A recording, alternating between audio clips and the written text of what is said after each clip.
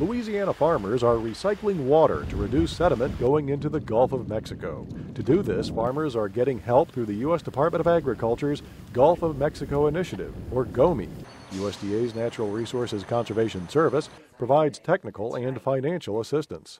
I think that it would be really tough to be able to do these practices on our farm without um, cost share assistance. But I think that most people, what they need to realize is that conservation doesn't cost.